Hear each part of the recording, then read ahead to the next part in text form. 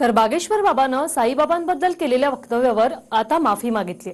मात्र मंत्री राधाकृष्ण विखे पाटील यांनी बागेश्वर बाबांवर कारवाई करण्याची मागणी केली. राष्ट्रवादी काँग्रेसचे नेते जितेंद्र आव्हाड यांनीही बागेश्वर बाबाच्या निषेधार्थ आज साई मंदिरात जात साईबाबांची आरती केली.